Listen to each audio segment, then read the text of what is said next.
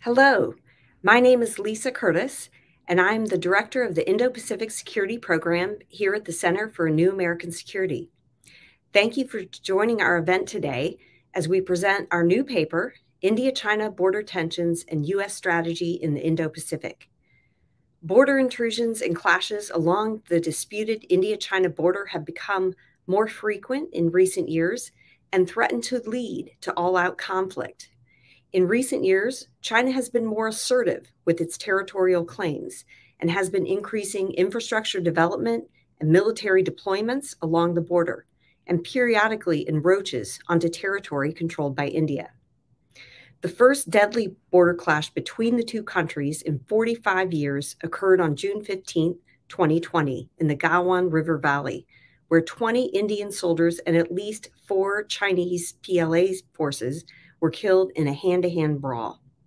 More recently, on December 9, 2022, Chinese and Indian forces clashed along the disputed border in the mountains near Tawang, which is in the, the northeastern Indian state of Arunachal Pradesh. And this happened after an estimated 300 Chinese PLA soldiers tried to cross the border. Fortunately, no one was killed in that flare up.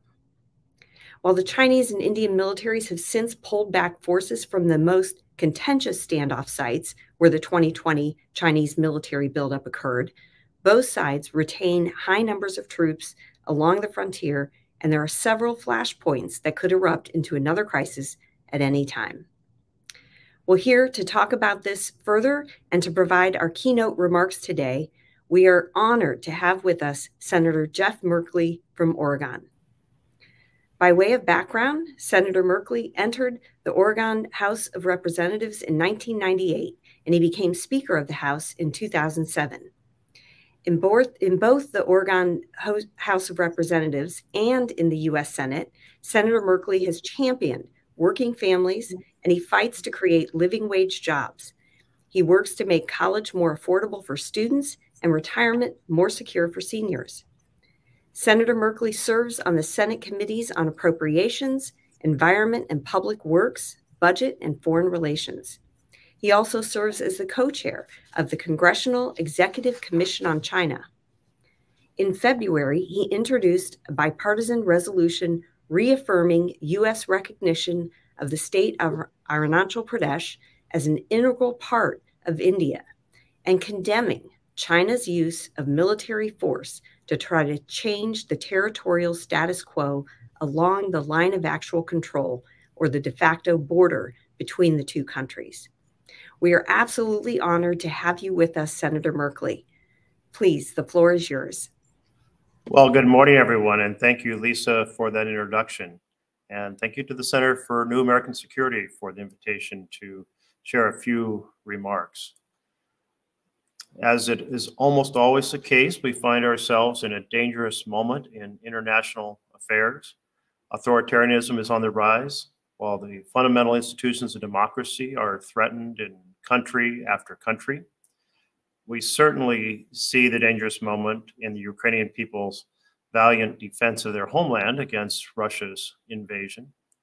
We see it in other ways, in waning checks on the abuses of power, blatant violations of human rights and freedom of speech, and, and the rise and, and strengthening of uh, strongman leaders. And we see it in the Chinese Communist government's aggressive and expansionist policies that are threatening the peace and stability of the Indo Pacific region, including China's aggression into India's state of Arunachal Pradesh this past December. And of course, that's the topic that you're all gathered to talk about. So to address that, we certainly see China regularly probing and testing to see how far they can push along that line of actual control, that 2,000 mile de facto border between the two countries. And this, this past December, India forces pushed back. And they did so with actionable intelligence and support from the United States as a result of the Basic Exchange and Cooperation Agreement on Geospatial Cooperation, or BECA, that our two nations agreed to back in 2020. America could see what the Chinese were up to. help communicate it to the Indian forces, and provide it in a way that uh, India could act on it and stop the PLA troops from seizing a new foothold across that line. And this is the type of cooperation coordination and partnership appropriate to support India in responding to Chinese provocations. Because we all know that our Arunachal Pradesh wasn't an isolated incident. We know the Chinese Communist Party is constantly using its military forces to try to change the status quo along the line of actual control. That they are building villages in contested areas, that they are publishing maps showing Indian territory with Mandarin names for cities and features. And that aggression incursions will continue unless they're given a reason to stop. And that's what the Indian forces did in December. To show our support for India in defending their territories against Chinese violations of India's sovereignty, I introduced the resolution, resolution that Lisa referred to with Senator Hagerty of uh, Tennessee. Our resolution makes clear that the Senate recognizes the state of Arunachal Pradesh as an integral part of the Republic of India and supports India's sovereignty and territorial integrity. It condemns the People's Republic of China's use of military force to change the status quo along the line of actual control. It commends the Indian government for taking steps to defend itself against aggression and security threats from the People's Republic of China, including through securing its telecommunications infrastructure, examining its procurement processes and supply chains, and implementing investment screening standards. It applauds the government of India for increasing its development efforts in Arunachal Pradesh, including for improving border infrastructure and connectivity and renewable energy production. And it commits to deepening the United States assistance to the region, including through the Department of State and USAID's using funding mechanisms such as the Countering PRC Influence Fund. And it encourages like minded international partners to join in supporting India and commits us to strengthening the US India bilateral partnership through enhanced defense interoperability and information sharing and economic cooperation. So that's quite a bit. It also makes notice of the role of uh, ASEAN and the role of the Quad in supporting India in, in responding to Chinese aggression throughout the, the region. This uh, reevaluation of support for India comes as India has been stepping up their leadership in the Indo-Pacific from hosting the recent G20 summit with Secretary Blinken and other foreign ministers. It comes as India has been increasing their participation in the Quad with US, Japan, and Australia. It is, of course, the case that in the context of international affairs, there are areas where we'd like to see India take a stronger stand. And I think it bears mentioning that that is particularly the case in regard to Russia. I would like to see India, as a democratic republic, take a strong stand against Putin's unwarranted and unprovoked invasion of Ukraine. I'd like to see them stop buying oil from Russia. Those purchases help sustain Russia's economy and ability to sustain its assault in Ukraine. I'd like to see them join the international sanctions, which are obviously more effective India participates. I'd like them to bring a stronger voice to the international stage in condemning the Russian invasion. And I do have to confess, I have a, a special place in my heart for, for India. Uh, in time I was in graduate school, I, I served as an intern over the summer uh, with uh, the U.S. State Department uh, operating out of New Delhi. At a time we did not have an ambassador there, India was very committed to the non-aligned movement. My wife uh, has spent uh, many months working in India as well, so we've always felt felt a special connection, and we're able to go back a, a few years ago for a series of, of, meetings. And so I just thought I'd share that as, as well as the perspectives that I'm, I'm bringing from having spent uh, years uh, working uh, with Cap Weinberger, Secretary of Defense under the Reagan administration. And now here in Congress, my perspectives are shaped in part as co-chair of the Congressional Executive Commission on China. It has given me a front row seat on China's activities on the world stage. I've hosted hearings that have examined China's devastation of Hong Kong's political rights, China's enslavement of the Uyghur population, China's use of high technology to create an all-encompassing surveillance state that, that if you were reading about it 20 years ago, would have felt like science fiction in some far future world. China's determination to erase the culture and um, kind of usurp the religion of Tibet. And just this week, we were holding hearings that emphasize that impact on, on Tibet, including essentially the uh, effort to interrupt the transmission of culture from generation to generation, with 80% of Tibetan children being taken away from their parents at the start of grade school to attend boarding schools and essentially be programmed uh, in a very different sense of uh, Tibet uh, and uh, the future of Tibet. And as part of the Senate Foreign Relations Committee, I've seen China's preparation for the potential use of military power against Taiwan, their expansion of control in the South China Sea, and as you all are very familiar with, a whole series of tactics flexing Chinese uh, international uh, muscles.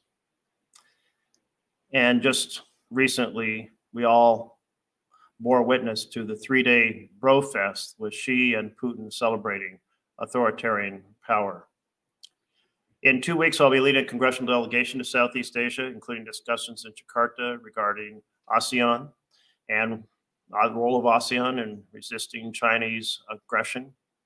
And we need to continue to work to strengthen our relationship with the Quad. And only by working together, strengthening our international partnerships, can we help enhance the sovereignty and security of nations in the region. So thank you everyone at the Center for New American Security for your work and your focus on growing challenges in this part of the world. There is no question that uh, those challenges are daunting. Uh, but by analyzing them carefully and building uh, partnerships and relationships to respond, we will have the best possible ability to uh, build a more secure world, more prosperous world. Thank you all very much.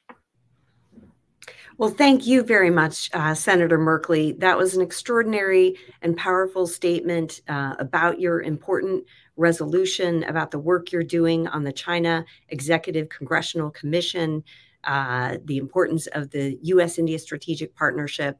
Um, just really uh, important remarks. And we thank you so much for taking time out of your busy schedule. Thank you for joining us. You're very welcome. Thank you. Okay, we'll move on to the second part of our program, in which I and my co author, Derek Grossman, are going to spend a few minutes discussing the findings and policy recommendations of our report. Uh, but first, let me just give a brief history of the India China border dispute. Um, India and China went to war in 1962 after China had launched simultaneous attacks against Indian positions in both the eastern and western sectors of their disputed borders. And after only a few weeks, it was clear that Beijing had significantly defeated New Delhi.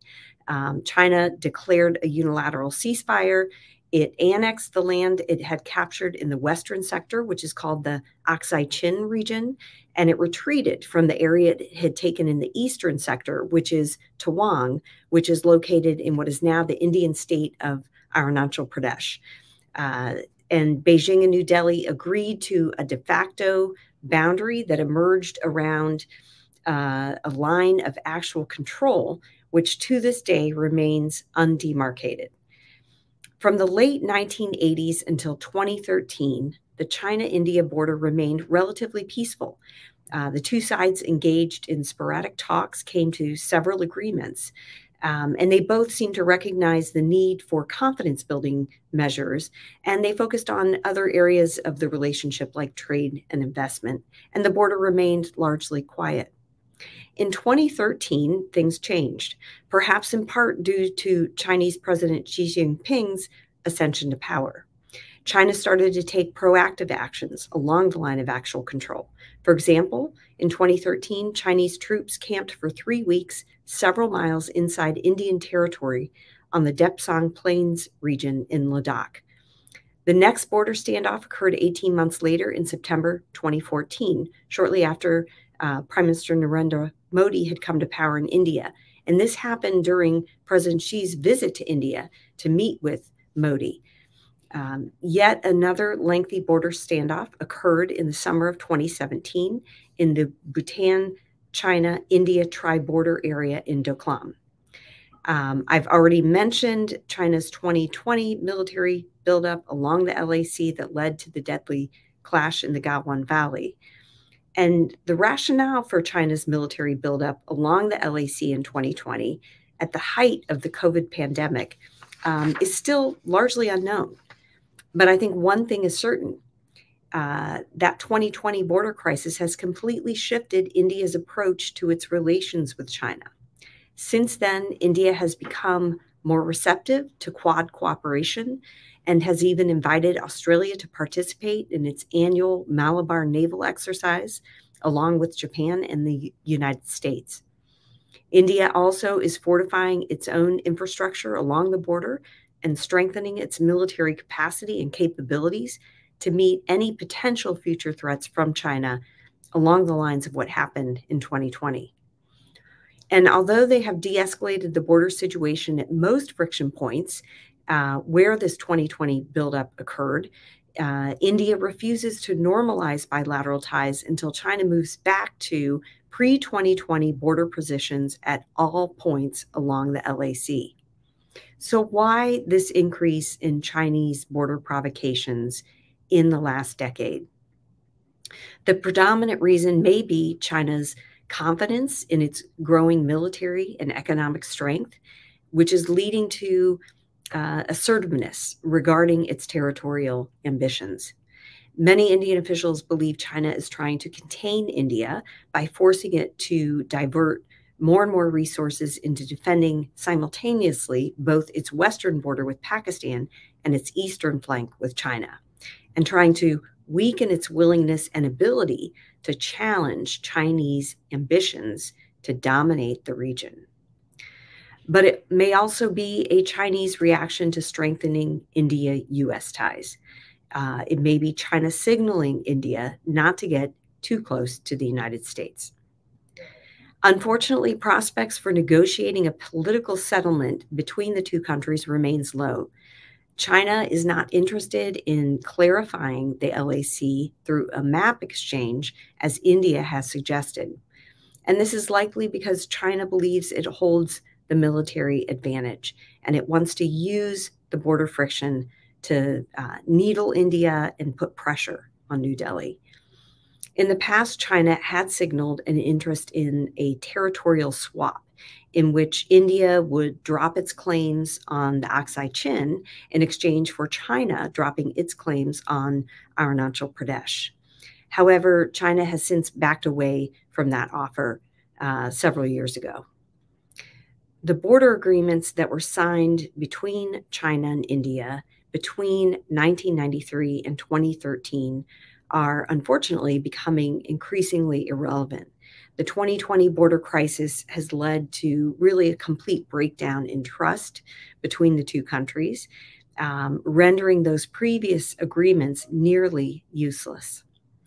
For instance, the Chinese used the tactic of shooting guns into the air on at least two occasions in the past three years, prior to, to 2020, both sides had respected the agreed protocol that no firearms would be used along the border. So, with that, I want to turn the flo- floor over to my co author, Derek Grossman, who will discuss the policy implications of ongoing India China border tensions and tell you about some of our policy recommendations. Derek is a senior defense analyst at the RAND Corporation, where he closely tracks U.S. China competition throughout the Indo Pacific. Before he joined RAND, he served over a decade in the intelligence community, where he was the daily intelligence briefer to the director of the Defense Intelligence Agency and to the Assistant Secretary of Defense for Asia and Pacific Security Affairs. He is also an adjunct professor at the University of Southern California. Derek, the floor is yours. Thanks, Lisa, and thanks, CNAS, for hosting this uh, rollout event. I'm really proud of the work that we did, uh, and I hope everybody gets a chance to read the full report. Um, and that was great, uh, great setup, uh, what you just did for, for me to uh, discuss some of the implications of our research as well as some of the policy recommendations. So on the implications, the chances of India-China conflict are increasing as each country pursues its growing interest in the region and becomes more sensitive to the other's activities along the LAC. And one implication of intensifying border friction between New Delhi and Beijing is a further hardening of New Delhi's position on China and a corresponding deepening of its partnership with the United States. Uh, developments along the LAC in 2020 have brought clarity to India's strategic approach toward China, meaning that India's views of the China challenge are starting to converge with those of the United States, even if the strategies for dealing with the challenge differ in several respects. I think a second implication uh, is that the hardening of the Indian position on China could facilitate Washington's integrated deterrence strategy. In the Indo Pacific, the Biden administration seems to be prioritizing deterrence by denial, uh, most clearly highlighted by continued security support to Taiwan uh, as a key to preventing China from resorting to military operations in the future. And this suggests that the US might want to open or deepen discussions with New Delhi on the most effective ways to deter Beijing by denial, keeping in mind the inherent limitations of such a strategy. A third implication is that, from a broader perspective, renewed Chinese assertiveness along the LAC is likely to further convince other Chinese neighbors that are cautious about security cooperation with Washington that closer security ties with the United States would be beneficial to their national security. However, if Washington extends support to India that helps it to deter Chinese aggression, other nations may begin to calculate that strengthening ties with the US is more of, is a more effective way to protect their territorial sovereignty than placating China. A fourth implication is that renewed China uh, India tensions or armed conflict at the border also would result in newfound challenges for the US. Short of nuclear war, a sustained crisis or war along the LAC could force the US to redirect military and other resources to the region. And lastly, given the need to prevent uh, a border crisis from, from flaring in the first place, there is a need to better understand Chinese motives for its actions along its disputed borders with India. None of the explanations out there, and, and Lisa went through a few of them, whether related to India rejoining the Quad or, Mod's, or Modi's uh, Article 370 announcement in 2019, uh, among others, none of those explanations have been substantiated as the reason why China is, you know, being more assertive right now along the LAC. So in, a, in the future, a deeper examination of Chinese motives, I think, would be helpful. And then turning briefly to our policy recommendations. So we have a number of them. So uh, one is we as the United States should consider elevating Indian territorial disputes with China on par with Beijing's assertiveness against other U.S. allies and partners in the Indo Pacific and ensure that this is reflected in all national security related documents and speeches. To date, only the Biden administration's national defense strategy mentions uh, the China India uh, border issue briefly without any real elaboration on US policy. And by the way, the, the national security strategy doesn't mention it at all. Uh, in the future, every authoritative US uh, statement should mention the border dispute while making it clear that Washington supports maintaining the territorial status quo between New Delhi and Beijing.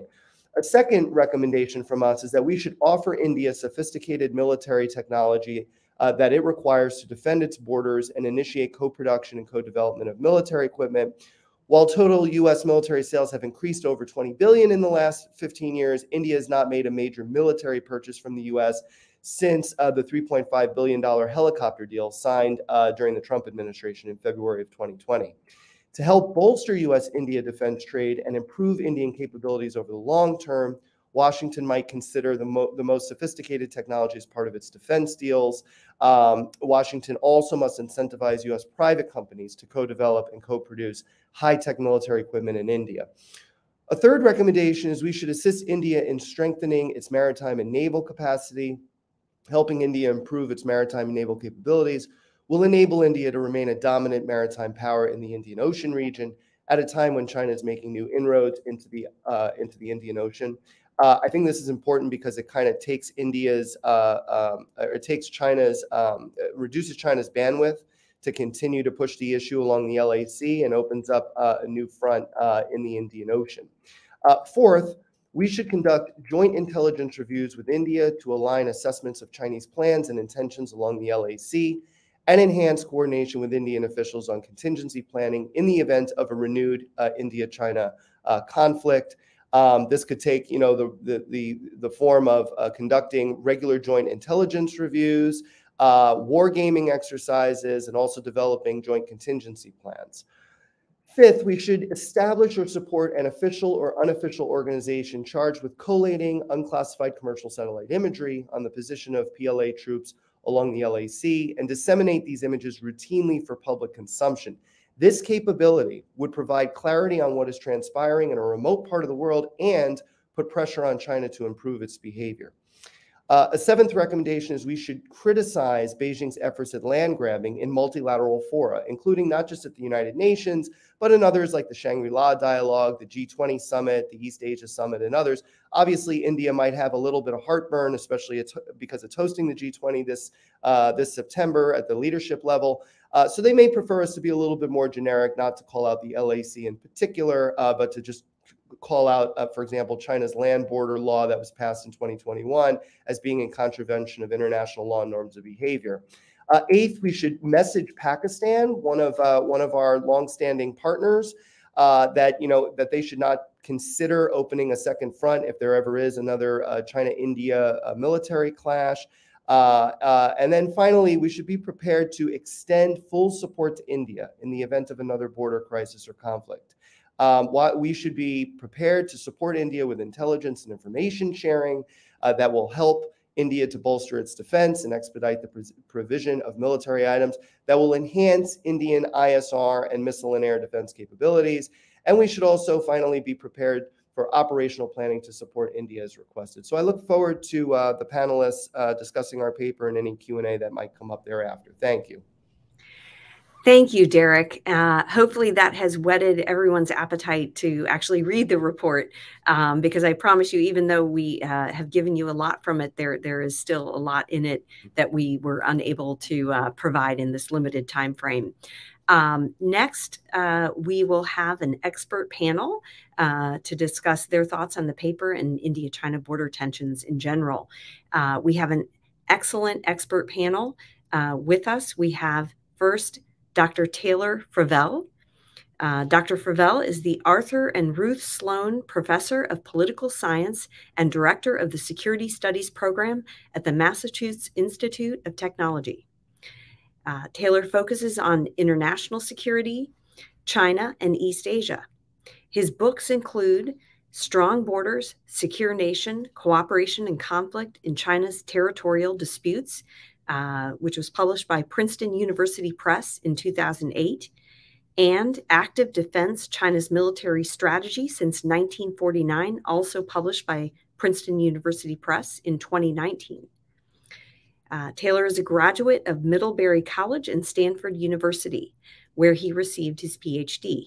He also has graduate degrees from the London School of Economics and Oxford University, where he was actually a Rhodes Scholar. Uh, Next, we will have Dr. Aparna Pande. Uh, Dr. Pande is a research fellow at the Hudson Institute. Her major field of interest is South Asia, with a special focus on India, Pakistan, Afghanistan, foreign policy, and security. A 1993 graduate of Delhi University, Dr. Pande holds an MA in history and a Master of Philosophy in International Relations from Nehru University. Dr. Pande received a doctorate in political science from Boston University in 2010. Her books include Explaining Pakistan's Foreign Policy, Escaping India, which was published by Routledge in 2011, and From Chanakya to Modi, Evolution of India's Foreign Policy, published by HarperCollins in 2017, and, and Making India Great, The Promise of a Reluctant Global Power by HarperCollins in 2020. Obviously, Dr. Pande has been extremely prolific in the last few years.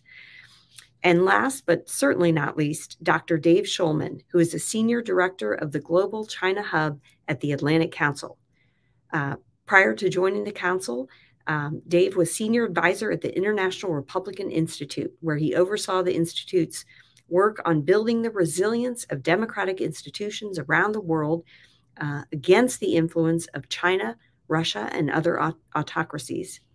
David served for nearly a dozen years as one of the U.S. government's top experts on East Asia, most re- recently as the Deputy National Intelligence Officer for East Asia on the National Intelligence Council. He earned his PhD in political science from UCLA, an MALD from the Fletcher School, and a BA from Georgetown. So uh, we're going to hear first from Dr. Fravel. Uh, please the floor is yours, Dr. Fravel.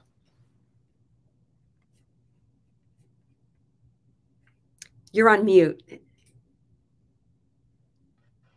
Hi, thanks so much, Lisa. Uh, muting and unmuting, uh, the story of our times. Um, anyway, thank you so much for having me today. It's a real pleasure uh, to join the conversation, and I'm delighted uh, to comment on your excellent uh, report with Derek, uh, with my fellow panelists. I'll try to make five uh, quick points uh, that seek to sort of engage uh, the report and some of the findings. Um, so the first has to do with the status quo. So the report argues, right, that U.S. policy should be sort of focused on maintaining the territorial status quo. But this raises a question: What is it exactly, right? It might appear to be the line of actual control, but in 23 places, China and India don't agree about the location of the line of the actual control. And the amount of territory, right, that this includes where disagreements over the LAC exist are at least a thousand square kilometers, if not larger. I sort of call this the dispute within the disputes, uh, but this is really where much of the action is, is, is being driven. Tensions in the past decade right, have been driven uh, by changes in each side's ability to access and patrol these areas where their views of, of the line of actual control uh, differ. And in fact, this is probably what contributes uh, significantly at least in my estimation, to sort of Chinese concerns about um, Indian uh, actions, uh, going on to the point about what's sort of motivating China. So if the U.S. policy, right, is going to be grounded, on the status quo, should the United States take a position on whose interpretation represents the status quo? That would be tricky, uh, especially in the Western sector, where the U.S. still seeks to maintain a position of neutrality uh, in terms of the actual territorial dispute. The situation with the McMahon line uh, in the Eastern sector is different. Moreover, it's actually hard to evaluate, right? In some places, what each side views as the LAC lies beyond areas they've even accessed on a regular basis, right? Um, so, bottom line, right? My first point here this is a complex interactive dispute. It's not so straightforward, but it has implications for what we mean by pursuing a strategy of deterrence by denial. Is it to deny China to go beyond India's view of the LAC in these areas where it differs? Is it to deny China the ability to go beyond its view of the LAC where uh, these perceptions differ and so forth. Where there's a shared perception, I think it's more straightforward. But again, I think the reason why we've seen tensions in the past few years has to do with these areas where the view of the LAC differ. So my second point um, just reflects briefly here on what is motivating China. I've written a lot about this, so I guess to me uh, it's not so puzzling um, necessarily. Uh, I tend to apply Occam's razor in, in the context of studying China, its territorial disputes, which is that usually its first or prime driver has to do with its assessment of what other states are doing in the dispute and what that means uh, for its own sovereignty. Uh, it, it may view itself as acting defensively, even though many times these actions are actually offensive. And so I'm not trying to sort of make a judgment here, but if we're trying to understand, I think what motivates China, or what has motivated China in the last decade, um, I think I would point to uh, several turning points in addition to the point that Lisa made about enhanced kind of Chinese capabilities. But first, right, both sides have been able to uh, establish a much greater presence very near or on the LAC itself uh, through uh, infrastructure enhancements. They have much more uh, agile and mobile forces than before. And so they've been able to patrol much more frequently, especially in the last five to six years. And this comes out of Indian uh, statements as well as uh, sort of observations of Chinese behavior. Areas that were patrolled, you know, once a month or once a week can now be patrolled once a day. And of course, that creates um, sort of a dynamic in which uh, concerns about or, or, or, concerns about whose line of or whose perception of the line of actual control is being violated when, when they disagree become much more salient. So this is why I've, i think we've seen sort of an escalation of, tensions from China's standpoint. Uh, India's role uh, in 2017 was clearly a turning point because India moved troops uh, across the international frontier into territory disputed by China and Bhutan. Uh, and I think that shaped Chinese perceptions as to how um, India was going to behave in lots of other areas where there may also uh, be, be disagreements. And I think 2019 with Article 370 was absolutely a critical turning point, and we have pretty good uh, evidence from that time that China was sort of quite uh, seized with this. And so um, I'll come back to this point in a minute, but I think essentially what China is trying to do, right, is to stabilize uh, the line of actual control to its favor uh, in these areas where it uh, sees itself as facing kind of increasing uh, challenges from India, which have been kind of a natural consequence of force modernization and infrastructure efforts.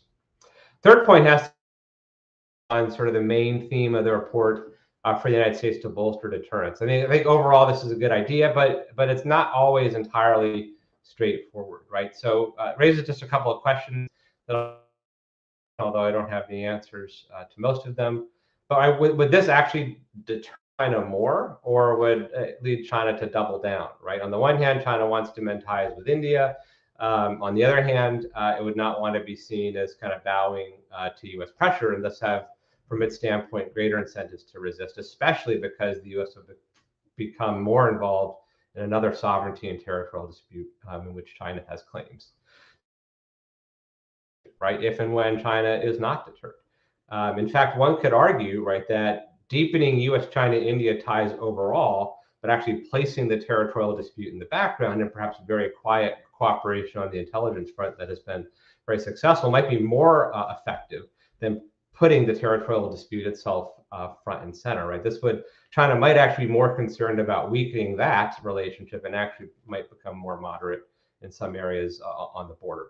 Um, in the interest of time, I won't go through the rest of the questions I had here, but I want to go to my fourth point, which has to do with the maritime domain. I think there's a bigger strategic issue on the table. And the report, or one of the recommendations about enhancing kind of maritime cooperation gets to this. But I think from a strategic standpoint, right, the China-India border dispute is not the most important element for U.S. policy in the Indo-Pacific as it relates to India right? It is definitely, uh, in my my view, uh, the maritime domain, and Arzan Tarapore has made this point forcefully. So um, it's certainly not my my view alone. But I think one risk in, in, sort of some of the proposals that the report contains might actually have the outcome of fixing India even more on focusing on on the border dispute at the expense of uh, strengthening its maritime uh, capabilities and its maritime power uh, which in the longer run, I think are going to be much more uh, consequential uh, in terms of uh, cooperation uh, with respect to China and an area where China clearly wants to make uh, much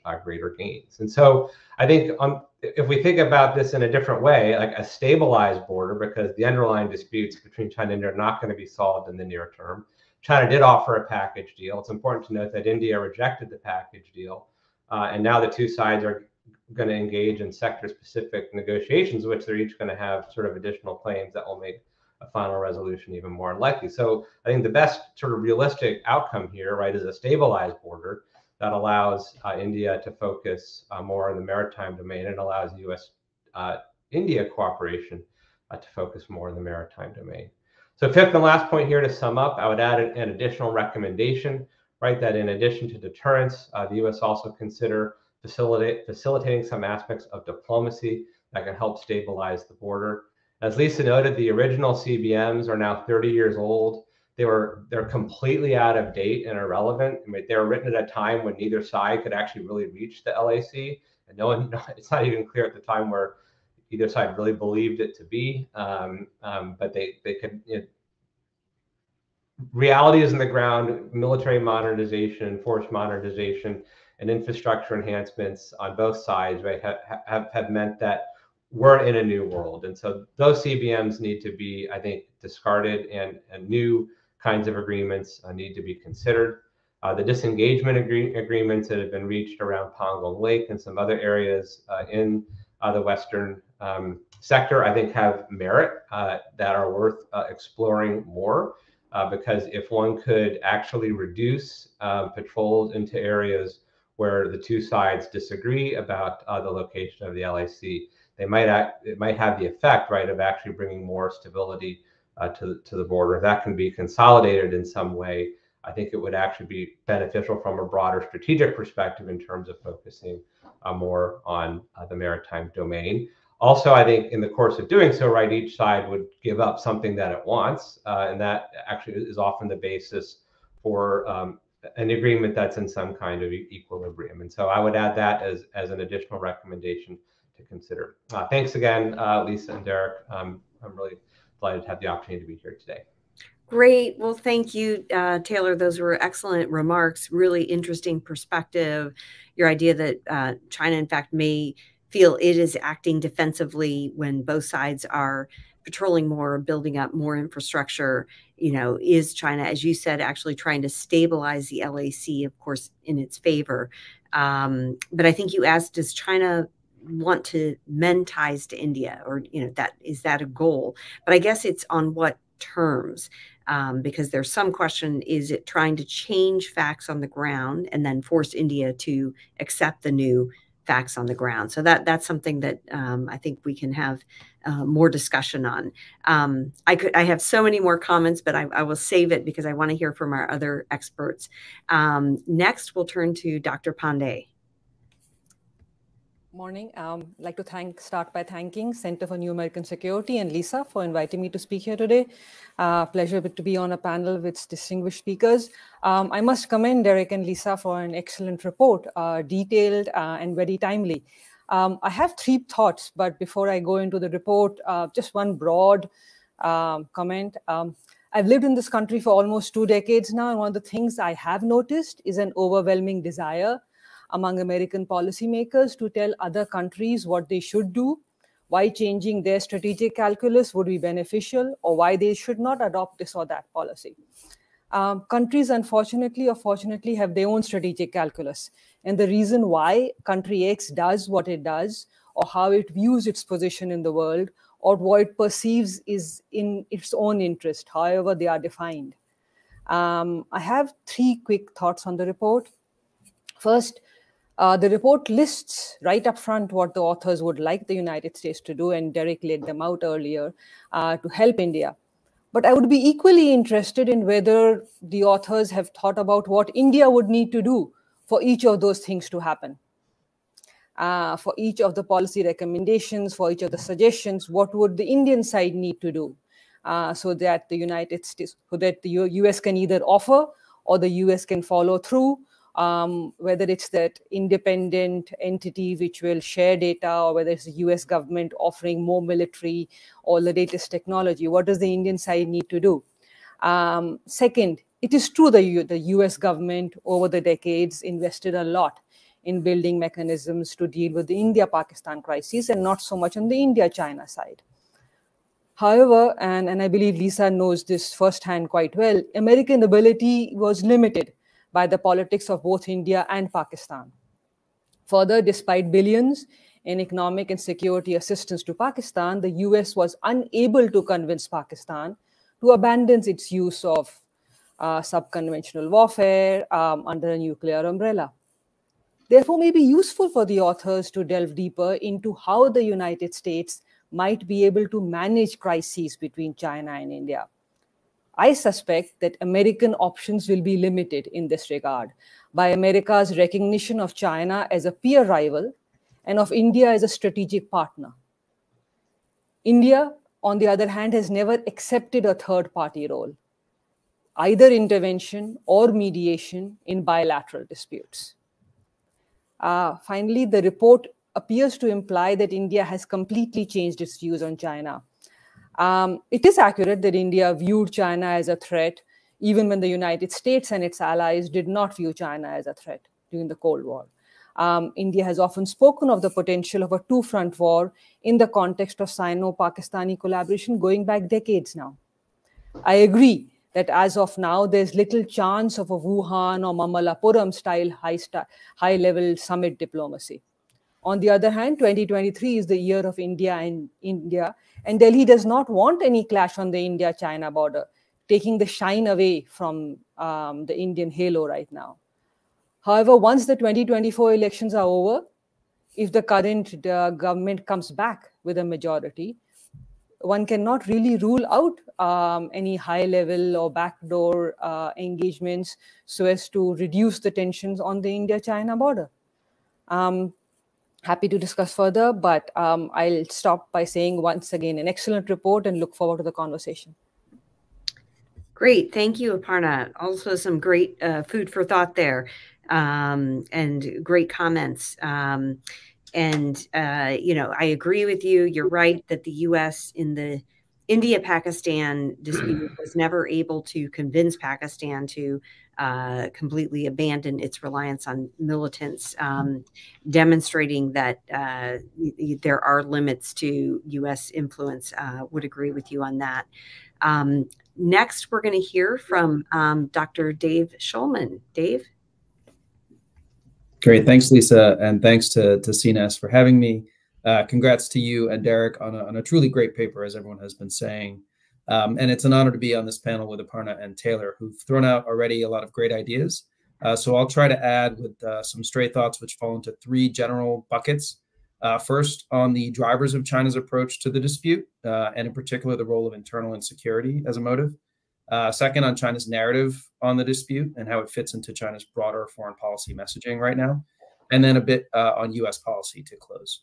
Um, so first, uh, in terms of China's motivations regarding the dispute, which which we've discussed already, and which uh, I think everyone has agreed are still a bit hazy, and that was underscored in the report, and Taylor touched on this. Um, you know, the paper addresses the confluence of factors that have led uh, to, to China's approach uh, to the border, its more aggressive approach more recently in the past several years, and comes down with the judgment that the predominant cause is China's confidence in its growing military and economic strength.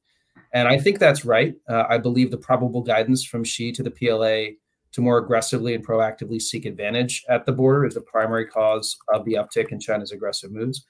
But I also want to underscore the role of China's internal dynamics, uh, and in particular, the drive to ensure control in Tibet and its Western region more generally, and the fears of instability and how that dynamic has historically driven China's turn toward herd aligned positions and aggression, and how all of this relates to Xi's current obsession with security and mitigating uh, internal and external vulnerabilities. So, if I could start just briefly with a with a historical detour, the paper notes that in the late 70s, once Deng Xiaoping had consolidated power in the wake of Mao's death, China made fresh overtures toward India, proposed this package deal to resolve the dispute in which China would give up its claim to Arunachal Pradesh in exchange for India ceding its claim on the Aksai Chin. The paper notes the offer was a result of the deep freeze in Soviet PRC relations at that time and was rescinded by the late 80s. My research seems to indicate that it was actually rescinded earlier than that, uh, well before the 86 87 Sumdorong Chu standoff, before unrest in Tibet started growing in the mid 80s in 85 and 86 um, and consistent with the fact that the PRC's concern over control in Tibet has been really central to China's approach to the border going back to the 50s and in the lead up to the 1962 war. And this has been well documented. And I think all of this is important because there are lessons here about balancing this international external driver approach to China's behavior with a fulsome understanding of what's happening inside China when we think about China's motivations. So China's willingness post Mao to reach out to India to try to weaken Delhi's bonds to Moscow was indeed a driver of the package deal offer. But another permissive factor was that concern over Tibet was relatively minimal at the time. Uh, this, uh, not to get too deep into it, but this was around the time that General Secretary Hu Yaobang was promoting a CCP review of Tibet policy and conducting outreach to Tibet, culminating in his visit to Lhasa in 1980. And so that limiting factor was not there. And once you have growing unrest in Tibet in the mid 80s, you get a tougher Chinese approach to uh, Tibet and to the border and that contributes to the standoff that begins in 1986. And a similar dynamic plays out 20 years later when we go from arguably the high water mark in productive border negotiations in 2005 to a much more aggressive uh, rhetoric on the border out of China in 2006 as unrest in Tibet again ramps up, eventually leading to China's crackdown uh, in Tibet in March 2008. So this history has continued relevance today in Xi's China, where it's hard to overstate the overriding party concern about security, both internal and external. Um, much of it is centered on a protracted geopolitical struggle with the United States and our allies, and this was underscored at the 20th Party Congress in, in Xi's speech there, where he uh, underscored security at every turn. He did this again at the two meetings uh, just a few weeks ago. Uh, and if you were to conceive of a sort of nightmare scenario for PRC planners, you have a U.S. intent upon using every tool at its disposal in a future conflict with China, most likely over Taiwan, where the U.S. would seek to not only divide Beijing's attention from the South China Sea through encouraging simultaneous engagement at the Indian border and potentially elsewhere, but would also look to instigate some sort of internal stability, instability in the rest of Western regions where China has been, as has been mentioned, ramping up its draconian, draconian controls, not only in Xinjiang, uh, where we know China's been prosecuting a genocide, uh, but also in Tibet, uh, which gets less attention these days, but where Beijing is also carrying out a forced assimilation campaign, as Senator Merkley pointed out. So all of this relates to what the paper flags as a real need to better understand China's motives for its actions along the border, which can help develop better indicators and warning about future Chinese aggressive action. Um, it's increasingly widely believed, as the paper notes, that, that China's aggression, including in 2020 at Galwan, is designed to strategically pressure India to back away from its growing security ties with the US. Uh, that's consistent with a broader sense that China's tougher line at the border after 2006 was, was driven by India's closer relationship to the United States, uh, beginning with the civil nuclear deal, which I think is definitely an enabling factor. But I think it's important to weigh these factors internal to China. And I believe the related general directive to the PLA to proactively enhance China's position relative to India along the border, which has gone into overdrive under Xi, as well as some more tactical motivations uh, that the paper references, such as the PLA reacting to India's completion of a road leading to a remote airfield on the border of Chin. So that's number one.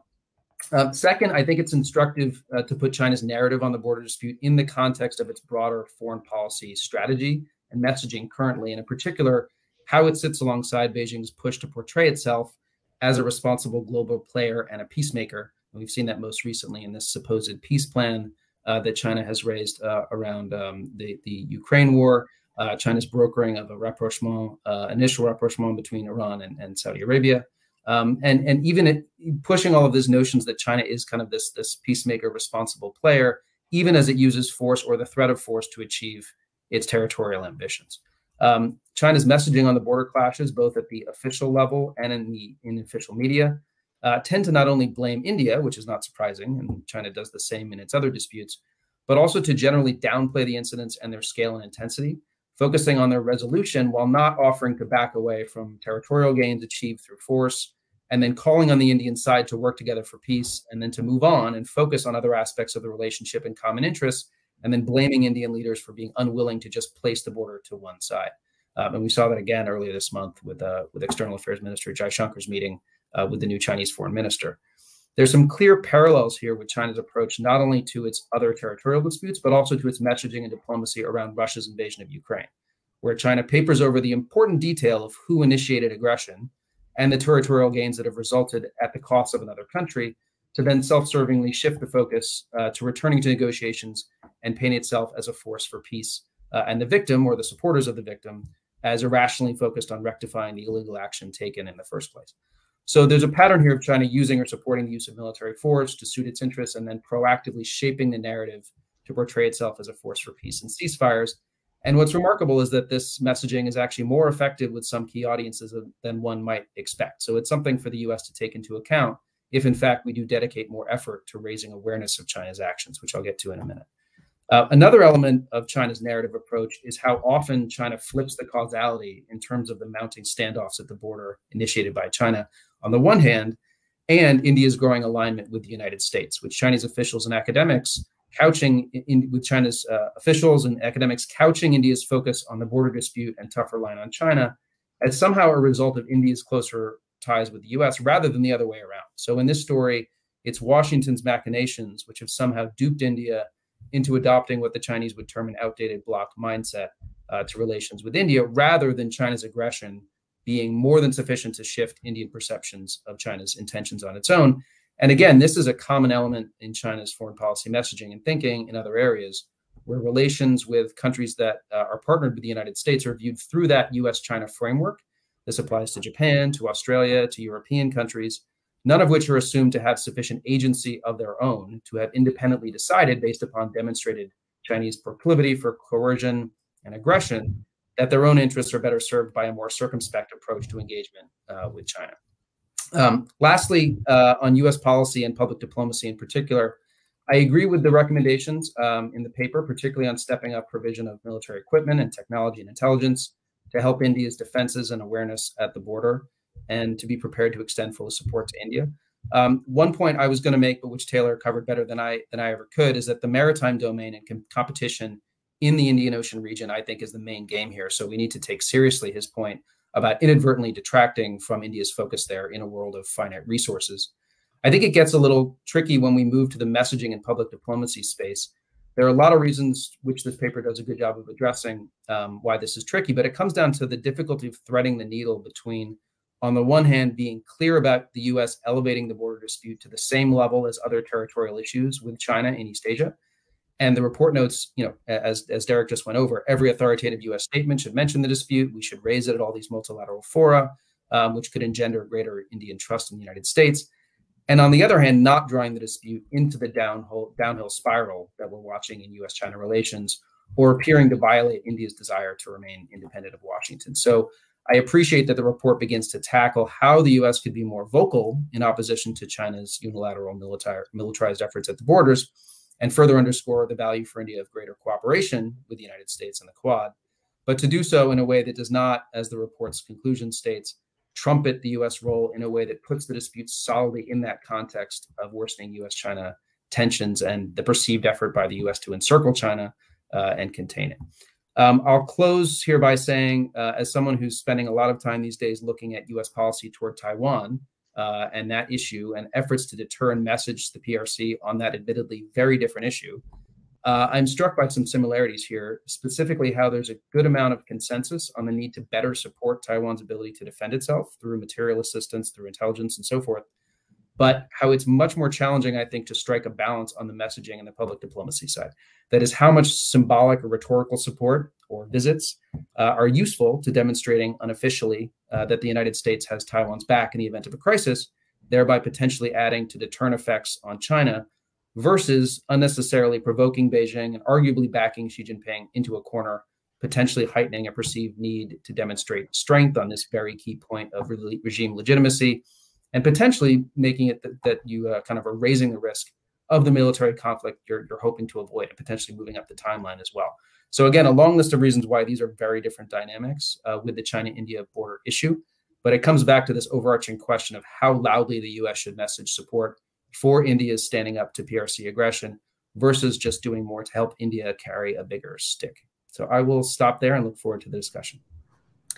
Wonderful. Thank you, Dave. Um, really excellent, comprehensive remarks. Uh, really appreciate that. And I'm glad you emphasized the relationship of Tibet to the India China border crises. We do mention that in the report. Um, I didn't have time to go into that in my uh, opening remarks, um, but you're you're extremely correct when you talk about the um, crackdown, um, China's crackdown on Tibet in 2008, and that's around the same time where China starts referring to Arunachal Pradesh as South Tibet. So there's obviously a direct relationship um, there. Um, so it seems there are, are many motivations um, to this uh, increased border friction that we can all agree is taking place. Um, I want to start by asking um, my own questions. Take my privilege as the the uh, moderator here to ask a question of each of you, um, and I'll I'll start with you, Taylor. Um, so you know, I think uh, Dave has uh, talked about the um, impact. I talked about the impact of the 2020 border aggression that we saw from China um, you said they might consider it defensive, um, but regardless of whether uh, China considers it defensive, India considers it offensive, it has um, led to changes in India's approach to China and uh, in ways that China may not have intended or planned for. Um, you know, in uh, China clearly does not like the Quad. And if its goal was to use aggression on the border in 2020 to kind of scare India away from working with the Quad, it seems to have had the opposite effect. So I guess my question to you is do you think what do, how do you think China interprets this? How does China interpret the fact that after the 2020 border crisis India then invites Australia to participate in the Malabar exercises, allows the US to refuel a P 8 in the Andaman Nicobar Islands. Um, how, how does China see that impact of what happened in 2020?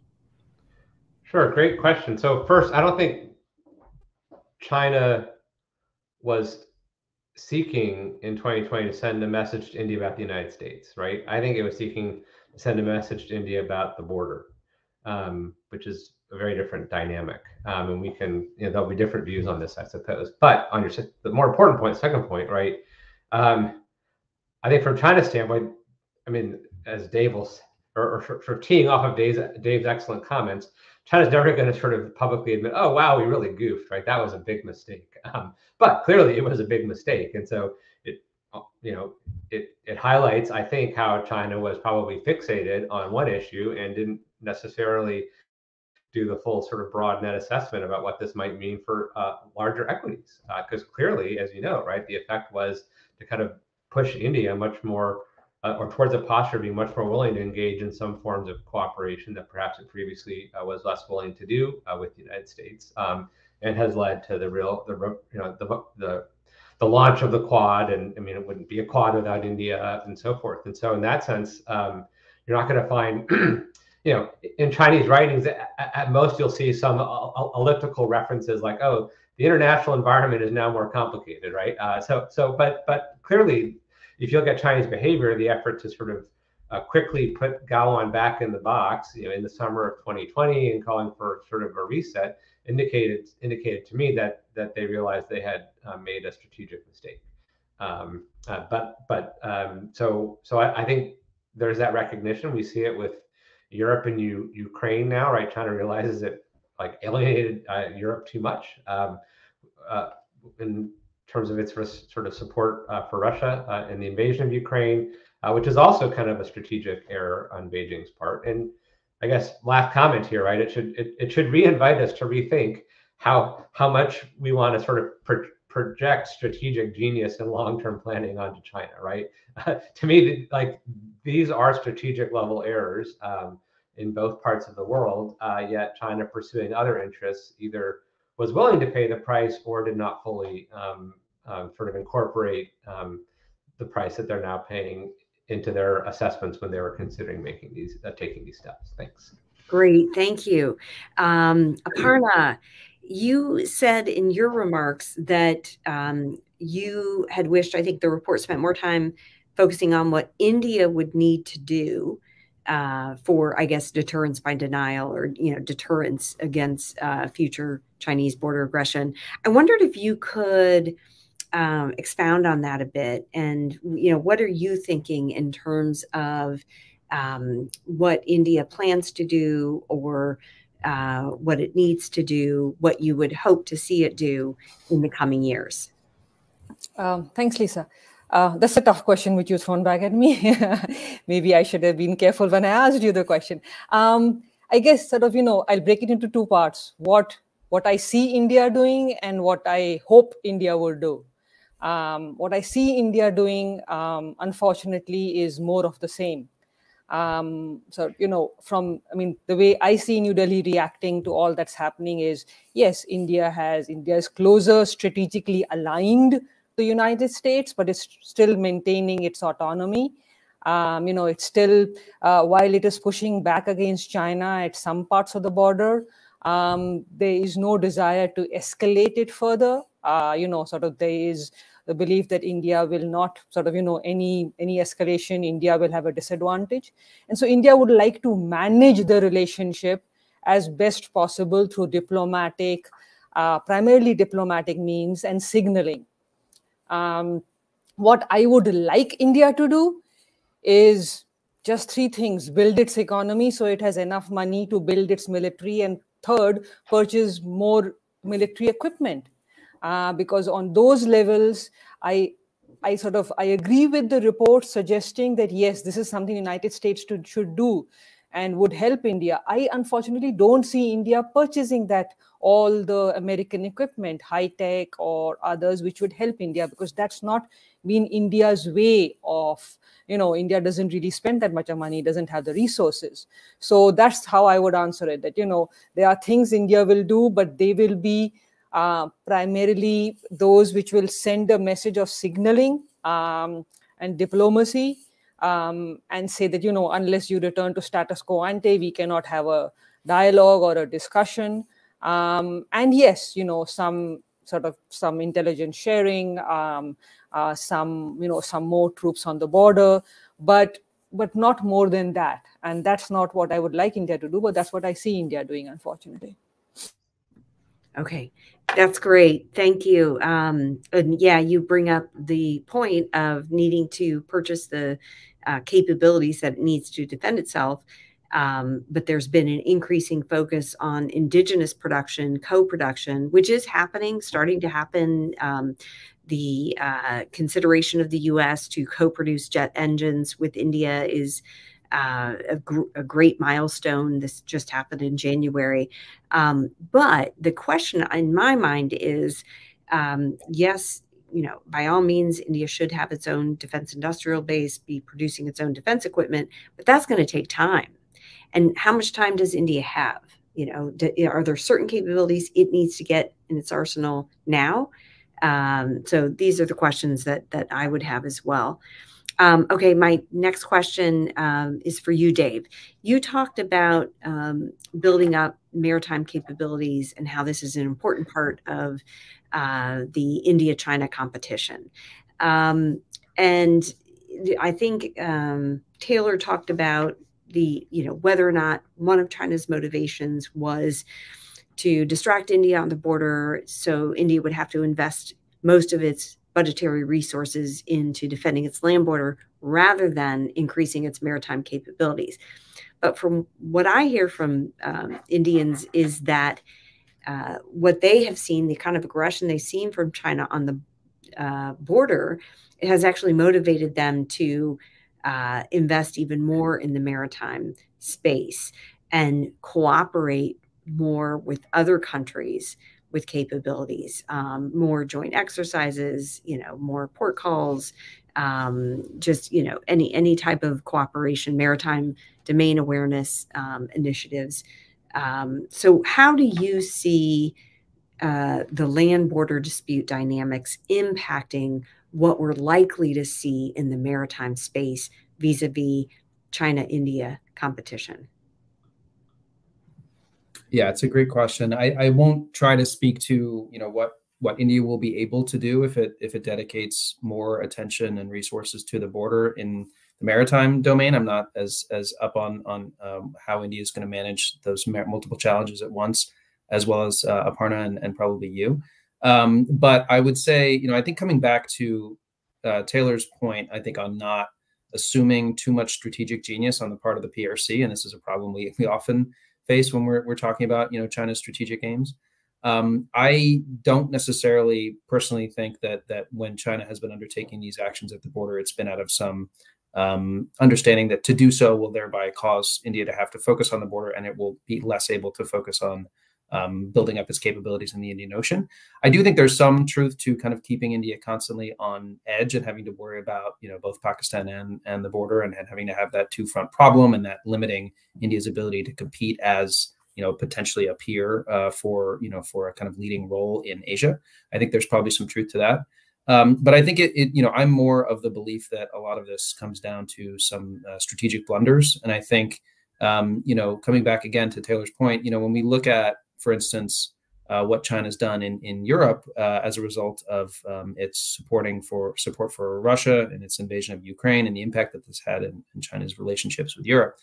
We haven't seen China actually change its behavior, right? I mean, it's continuing to support Russia, and if if you believe what we're seeing out of the administration, potentially even considering stepping up support with lethal aid, um, what it's done is papered over and used uh, you know narratives and propaganda to try to to reach out to Europe and try to you know convince them that it's that things are still good, and then of course use the draw of, of China's economy such that it still is um, to try to to try to ensure that that Europe doesn't, as a result of this, turn more towards uh, the United States and more of a united approach towards China. So I just want to make that point as well that I don't think that necessarily this all means, you know, maybe China sees that it made a blunder in 2020. Does that mean it's going to fundamentally change its behavior at the border? I don't think so. I think it means we're going to see a stepped up effort to to try to do what they're already doing, which is using this these narrative um, um, uh, mechanisms to try to change the conversation uh, in China's favor. Um, so, but just just finally on your point, I mean, I think it it is again really important to think through uh, the Indian Ocean region impact and India's ability, in conjunction with partners, to be able to uh, to be able to secure that region and push back on China's expansive military aims in the region, but also not just in the military space. What can be done diplomatically, right? Uh, we, we have heard for years about India uh, and its diplomatic approach to the smaller neighbors of, of, uh, of South Asia, even as China has been stepping up its own economic influence. And that I think is a really important uh, dynamic and needs to be uh, front and center for India, even as it is um, potentially distracted by what's happening up at the border. Great, thank you. Okay, we're going to turn to audience questions. Um, and I, I, we have a really good one from James. And I would like all of you to um, think about uh, taking a crack at it. And Derek, including you, I'd like to bring you into the discussion as well. Uh, so James asks, how does the growing relationship between China and Russia affect India's calculations related to its own relationship with and dependency on Russia? I think this is a critical question that everyone is asking, and so I'd like to get um, uh, uh, you know a couple points of, of, comment from each of you.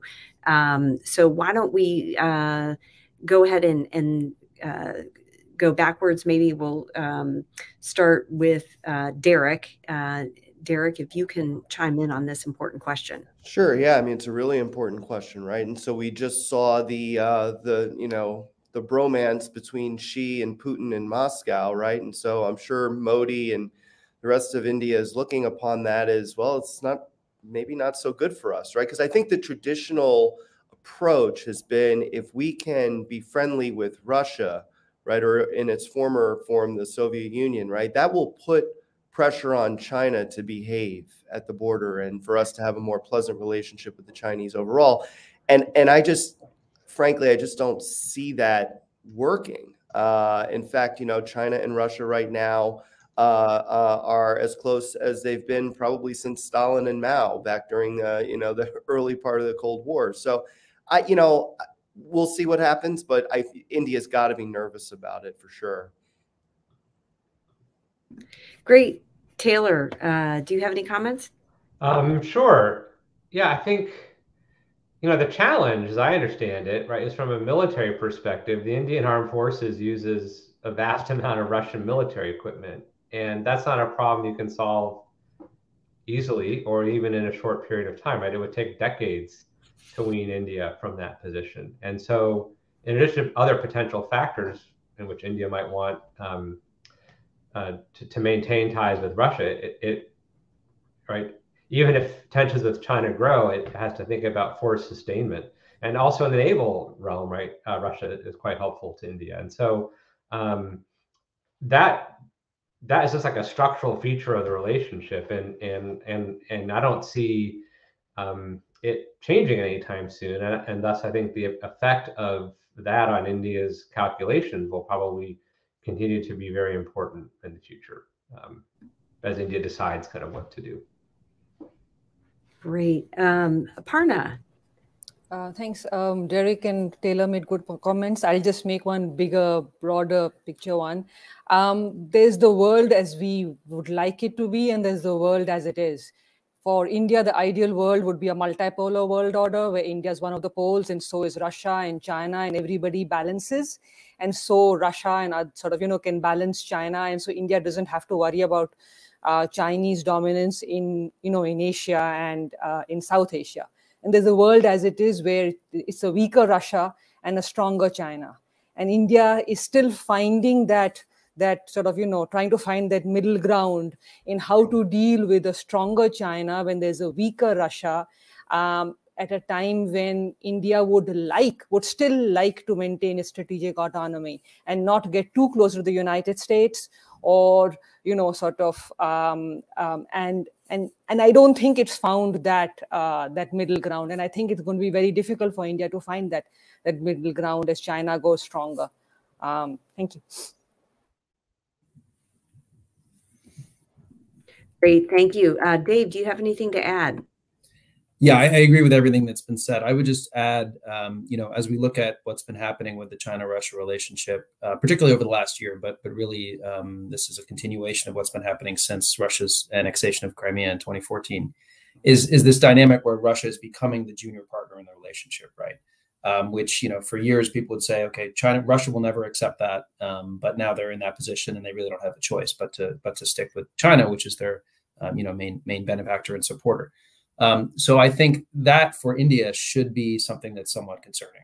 Um, and I think Aparna kind of touched on this, but you know, if when we think about okay, how could China take advantage of this going forward beyond you know getting bargain basement cheap deals for energy, they could potentially put pressure.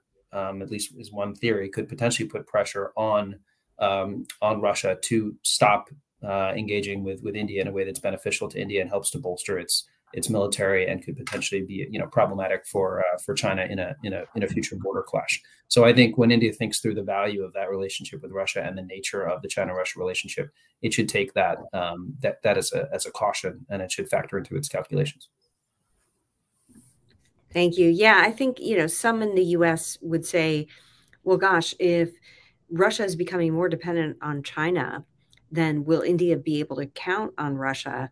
In the future and shouldn't that become part of india's calculations? But i think from the indian perspective you know they see this growing russia china partnership and they're thinking you know how can we continue to keep a wedge there? And in order to keep a wedge you know they, they have to keep um, ties to russia strong. So again um, you know slightly different approaches to the problem. And i think this is why the biden administration you know has been willing to kind of accept India's independent, neutral position, as much as it may frustrate uh, people. Um, I think there there is a, an understanding of where India is coming from with its its approach.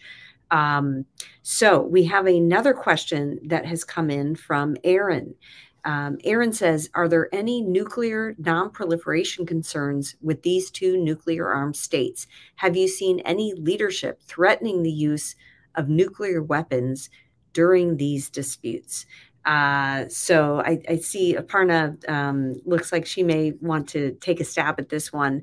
Uh, Aparna, I know you've done a lot of research um, on uh, India's nuclear uh, uh, calculations in the region. So would you like to take a stab at this one? So um, I'm sure you know uh, Dave or Taylor or Derek may know more, even you. But sort of, I just have two quick points. One, um, the the threats part I've seen more in the India-Pakistan, primarily the Pakistani side. Um, you know, very few on the Indian side, but on the India-China, yes, India's nuclear weapons, pro- I mean, in nuclear program, everybody knows, was a result primarily of China's nuclear program. So in that sense, one followed the other it was India's way of ensuring that you know there won't be a repeat of 1962. But I've never seen any Indian leadership threaten the use of nuclear weapons, even in a campaign speech vis-a-vis China. Uh, sending a strong message to Pakistan is different. It's never been done in the case of China. I haven't really seen anything on the Chinese side, but I defer to those who know China better than me. Okay. Uh, Dave, Derek, or Taylor, do you want to jump in on the China calculations?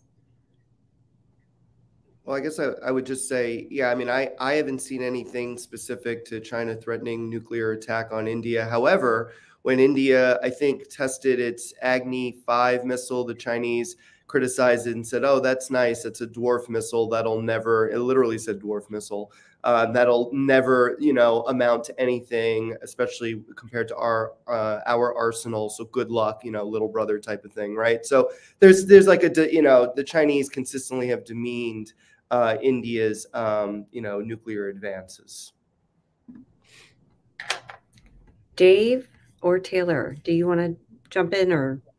Uh, I mean, I don't have too much to add. I would just say you know, I agree with Aparna. Obviously, you know, we look at the history of of the, the nuclear standoff in, in South Asia and China's role in, in, in Pakistan's program and how that led to what happened in 98 and all of that. I think that's that's that should continue to be a concern. But I think that China, from its perspective, in terms of what happened between continues to happen between India and Pakistan, does genuinely want stability. Um, and and and I don't think they. I've seen nothing to indicate that they've threatened um, the use of nuclear weapons with their own dispute with India.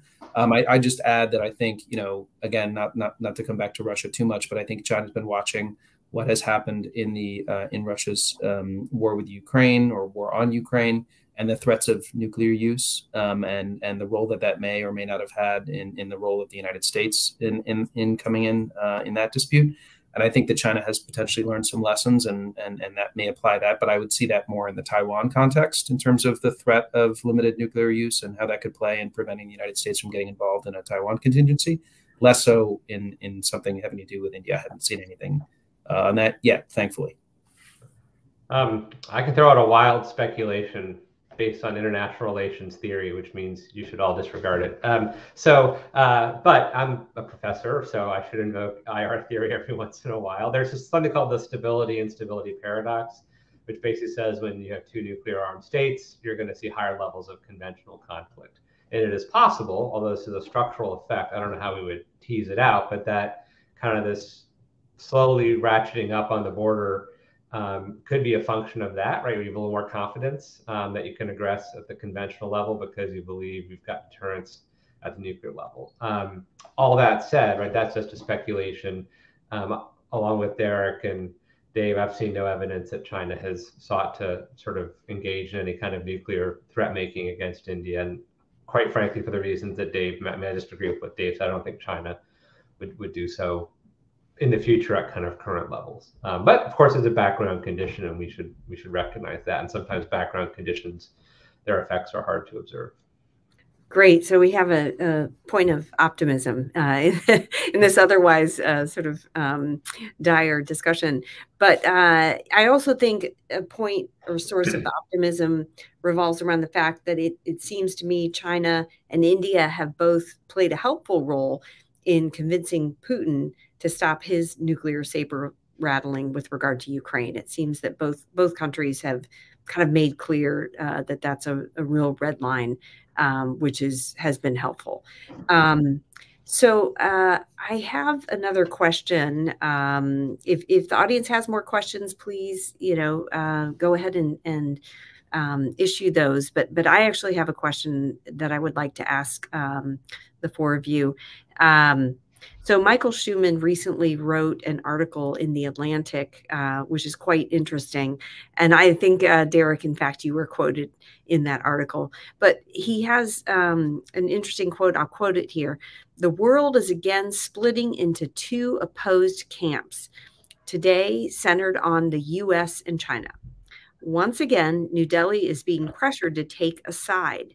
And again, the Indians are reluctant to choose, maddening US policymakers as they did during the Cold War. My understanding, he, he when he says taking sides, um, he means between the US and China, which is an interesting question because we've just been talking about taking sides on the uh, Russia Ukraine issue. But um, do you agree with this statement?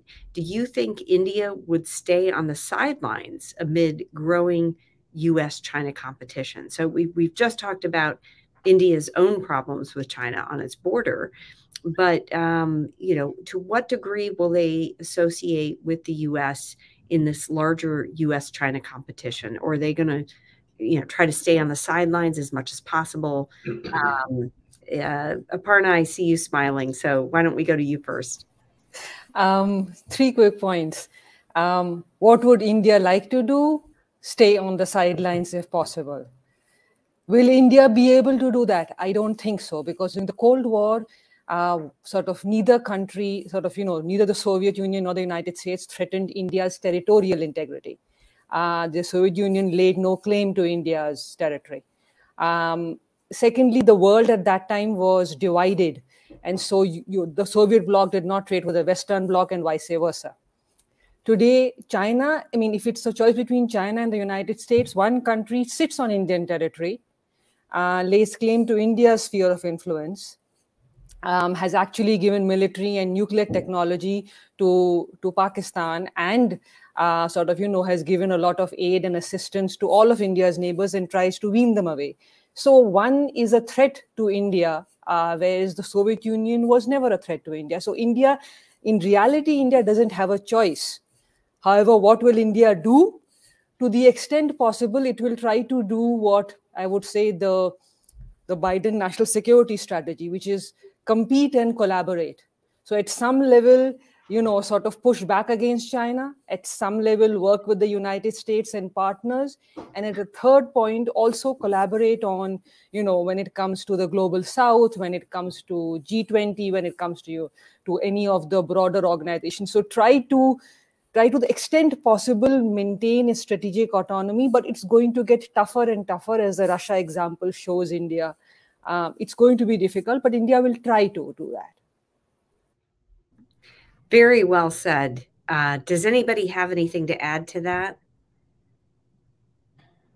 Okay, yeah, I think. Well, yeah, it was very well said. I will. I, I will just point out, though. I mean, um, you look at you know India's relationship with China has deteriorated, you know, significantly since Galwan Valley in 2020 the external affairs minister Jaishankar keeps saying we cannot get back to a normal relationship unless or until that is resolved, right? Meanwhile, you look since 2017 after the Doklam standoff, U.S.-India relations have gotten much better, and they were already on the path to getting better for years. You know, so I, I think that India has already kind of implicitly demonstrated that we're more supportive of the U.S. than we are of China uh, in this great power competition that's intensifying globally. Great. Thank you. Okay, I have one final question, and I want each of you to to take a stab at it. Um, so we posit in our paper, Derek and I, that uh, you know the the chance of a conflict between India and China is growing um, because of these uh, increased incidents along the border. In fact, we saw just in December 2022 um, the uh, incident at Tawang. Uh, we heard from Senator Merkley that the U.S. Uh, you know, was cooperating, sharing information, intelligence with India uh, to to uh, deal with that situation. Um, what do you think we should expect in the coming, you know, say one to three years um, in terms of the border issue? Uh, do you think that we'll continue to see these dust ups? Uh, will we see something more serious along the lines of June 2020 in the Galwan Valley? Uh, could we even see, um, you know, a, a, deeper, more prolonged uh, conflict? If you had to give your best uh, prediction, um, so Dave, I'll go to you first, given your former uh, hat as the National Intelligence Officer for East Asia. Um, how how would you approach this question? I mean, it's incredibly hard uh, as a question, and I think that that's why this this discussion is so important, just to try to help lend some understanding. I, I like how we all tried to dig into, uh, and the paper does this well as well. You know, dig into motivations on China's part, uh, which you know I think, as Taylor laid out, there are some very clear, you know, things we can look to in terms of what what is motivating China. And as I think, as I as I noted, I think we need to add that internal dynamic. Um, but from a you know fairly rational perspective, I don't think it makes sense for China to um, to try to cause uh, problems at the border anytime soon. The you know the the uh, Chinese leaders, uh, Xi Jinping in particular, are dealing with a, a whole raft of internal challenges, uh, most notably uh, a, a, slowing economy, dealing with a uh, you know downward spiral, as I mentioned, on U.S.-China relations. I'm really concerned about what could transpire over Taiwan um, particularly in the coming year as we have a, a, big election coming up in Taiwan in January. Um, so, so I would say, you know, if I had to make a guess, I wouldn't expect to see something like 2020 uh, again uh, in the next couple of years uh, because I just don't think it serves China's interests. But again, the caution always has to be there. That I personally think a lot of what has happened in the past, and I know it's still not a terribly popular um, view, uh, particularly not in Delhi. I think a lot of it has been, you know, as a result of the PLA being given their marching orders to continue to gain and seek advantage at the border, uh, and that sometimes these are not uh, strategic decisions from the top uh, to undertake aggressive action. And I think we could, you know, see as a result of that, and as has been mentioned, as a result of these two sides coming into contact more often, we could see uh, another dust up. But I, I, would, I would guess if I had to, uh, that that that would not happen because it's certainly not in China's interest to do so. Great, thank you. And if we can get just 30 seconds from the, the rest of you, we're at time, but uh, would love to hear from you. Aparna, do you have any thoughts? Uh, just one point. Uh, maybe we need to uh, sort of, you know, bear in mind what happens inside Tibet and the Dalai Lama. Uh, that's something David mentioned earlier. If things go south, then that could be sort of, you know, a reason for why China does things on the border. And we must remember domestic politics impacts foreign policy. So the more in sort of problems within, the more likelihood China will do something on its borders, whether it's the Indian or Taiwan or anywhere else. Thank you. Taylor. So I, I agree with uh, Dave and Aparna, terrific points. I would just add on the China motivation side, right? India and the West is a secondary strategic direction, right? It's not a primary focus. And so another reason why I don't believe there'll be um, even a Galwan style clash has to do with, I think, partly maybe the lessons China learned in 2020, but also it, it is ever more focused uh, elsewhere. And um, th that's another, I think, factor that would induce uh, some stability. Great. Thank you. Derek. Yeah, thanks. Yeah, I, I agree with everything that's been said. I mean, not everything is necessarily about us, the US, right? It could be about China and India specifically. So, yeah, we definitely need to keep that in mind, even though our recommendations in the report are about what the US should do because it's coming from a US perspective. So, I want, I, I hope everyone gets to check out the report soon. And thank you very much to Lisa for co authoring with me and to CNAS. And thanks to all the panelists. Thank you. Yes, thank you. Uh, this has been an excellent discussion. Uh, really appreciate everybody's contribution. And thank you all for joining us today. Uh, hopefully, you've enjoyed the discussion as much as we have, and uh, enjoy the rest of your day or evening as it may be. Thank you. Thank you. Thank you.